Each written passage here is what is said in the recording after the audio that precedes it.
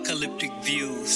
New hood ordinance, zooming in on your coordinates while placing your quarters under quarantine. These devils searching without warranty. Now, warring means that to bait your king into the scene. Looking at the world through the eyes of a stranger. In grave danger, safest place to drop your seed is in a manger. Weed to manage your anger. In a sinister world with saints or gangbangers, think of better places for those who death embraces as devil's chasers. In attempts to crucify our next Messiah, elusive fires burning us through our desires. It's to the wire, so I hit my bong and meditate to get higher. And through this, never forgetting that every Jesus has his Judas, every Caesar uproot us, reduce us to less than clueless. But I've always been known to listen to us, speaking to drunken prophets in front of corner liquor stores.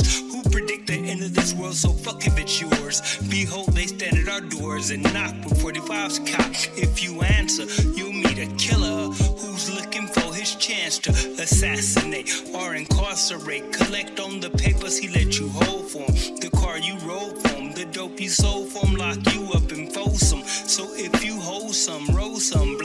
some, if you know some. Trapped in the system by the same man supplying this.